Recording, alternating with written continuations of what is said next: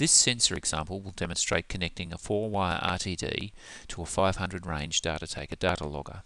We are going to wire the RTD to channel 2.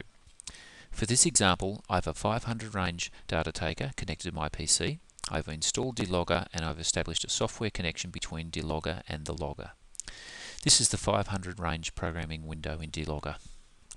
First thing we need to do is right click on this blank area, add channel, analog, channel 2, temperature, select RTD. This is how we've wired it, 4 wire, and it's PT385 in this instance. Click OK.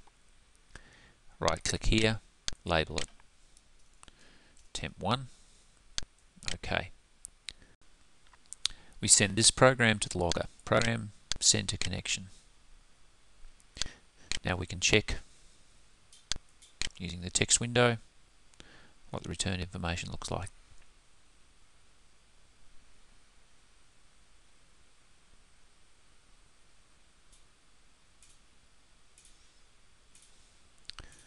There's our returned information.